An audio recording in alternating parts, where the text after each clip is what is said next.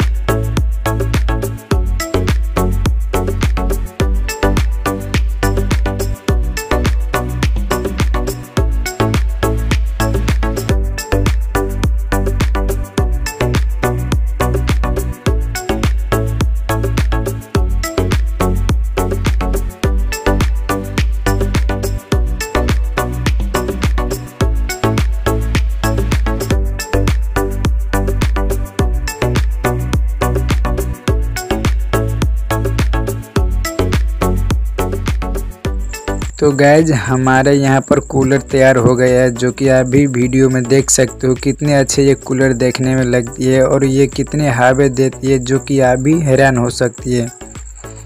तो हमने यहाँ पर फ़ैन को ऑन कर दिया है, जो कि आप भी देख सकती हो, और बहुत ये ठंडी हवा देती है, जो कि आप भी घर पर आसानी तरीके से बना सकते हो ये कूलर तो गैज आप सबका ये वीडियो पसंद आए तो प्लीज़ लाइक कर देना और चैनल को सब्सक्राइब नहीं किया तो भी चैनल को सब्सक्राइब कर देना। तो चलिए रख देते हैं।